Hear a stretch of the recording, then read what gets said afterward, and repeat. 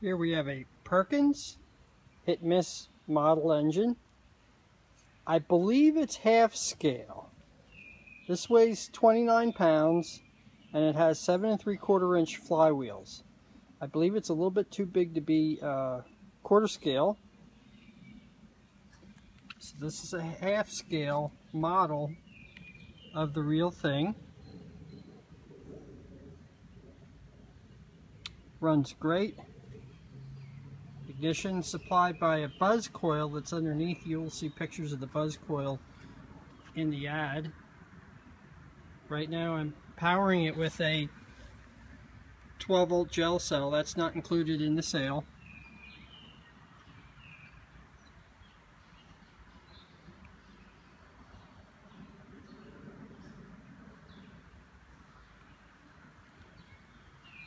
This is a real nice running motor easy to start.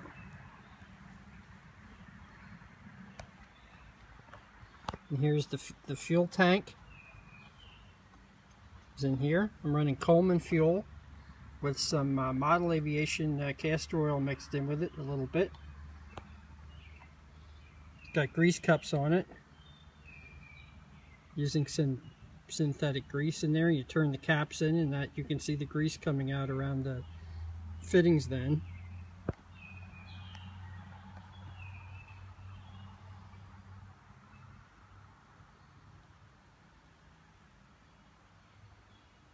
Let's see if I can give it a start here with one hand.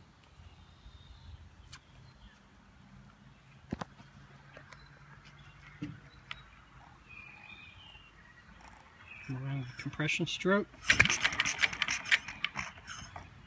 Give it a shot again. Can't give it a good flip like I can when I'm using two hands. There we go.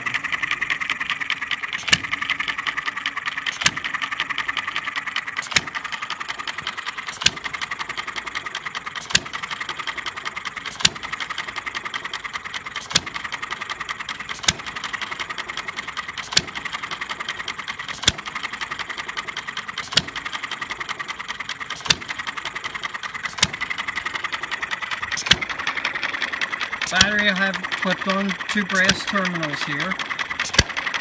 Or you can use an RCA plug with your battery. I use the brass terminals, all the different ones that I have.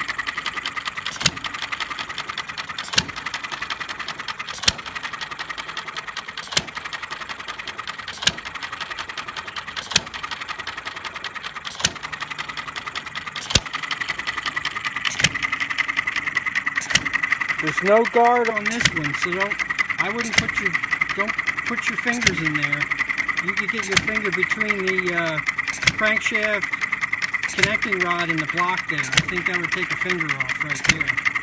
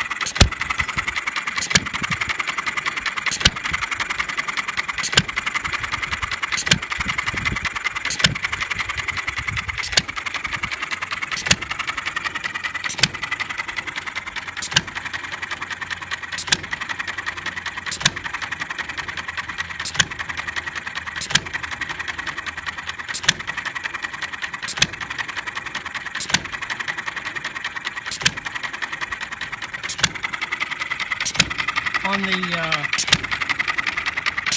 fuel mixture needle there. I only have that at about a quarter of a turn.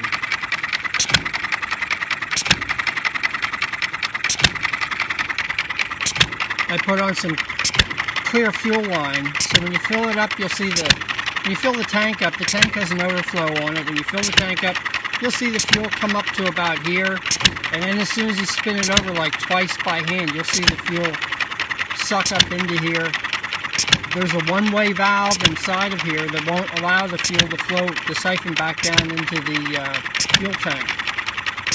And if you've watched any of my other videos, that's how I've gotten the other hit miss motors I've had to run well is by putting in a one-way flow valve that keeps the, they call them fuel mixtures, mixers on these. I, I call them carburetors, but I guess it's not really a carburetor because it doesn't have a butterfly in it. It's just a fuel mixer. But uh, one-way valve keeps the fuel at the jet. So on each intake pit there, fuel's there ready to go. As you can hear, like it fires every single time. It only has to draw in air once and the fuel's there.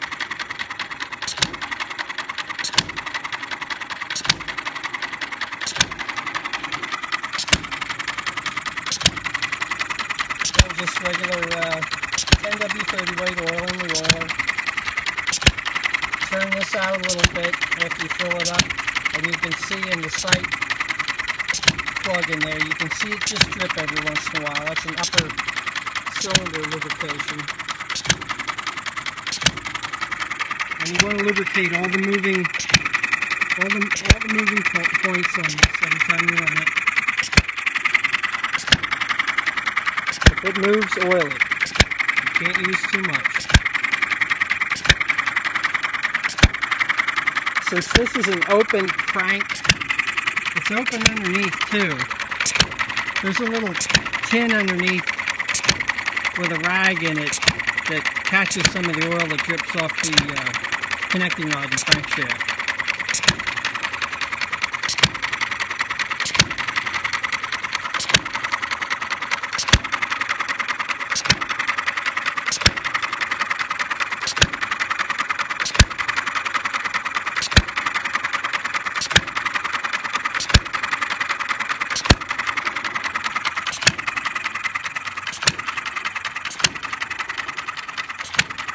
If you have any questions, I have my email address below in this video, joekind at comcast.net. Please email me should you have any questions about the sale of this engine. Uh, it's June 2nd, 2015 right now, and when it sells, I will list it as sold uh, below in the video.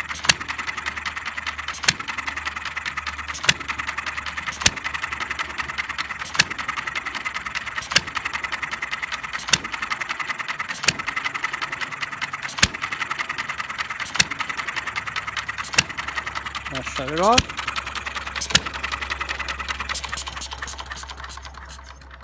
Just disconnect the power and there you go. Thanks for watching. If you have any questions, email me, joekind at comcast.net. I have it written below here in the video. Thanks.